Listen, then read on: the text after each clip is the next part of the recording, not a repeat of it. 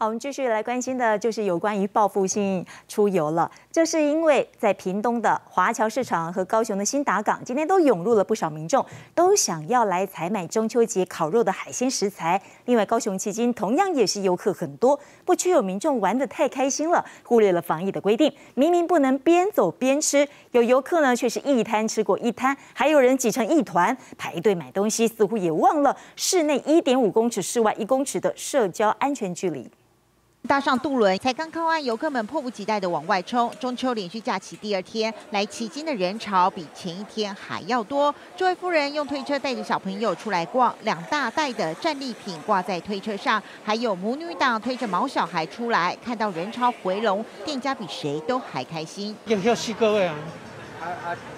哎呀，我真开心一样海鲜餐厅前围满了等待座位的客人，因为人潮实在太多，人与人室外一公尺的社交安全距离难以遵守。镜头也捕捉到有人违规边走边吃。这位小姐和朋友忘我聊天，脱下口罩一路品尝美味，而这位穿着黑色衣服的小姐则偷偷把手中的饮料拿来喝。呃，有些还是。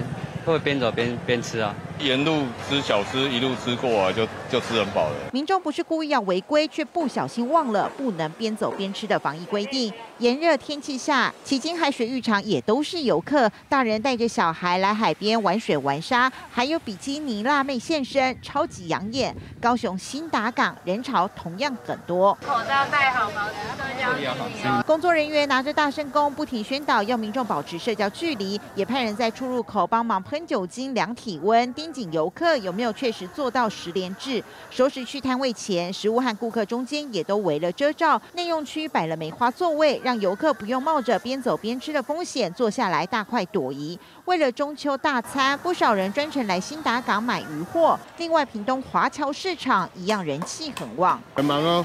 没有，中秋节今天比较忙。哦，中秋节比较忙是吧？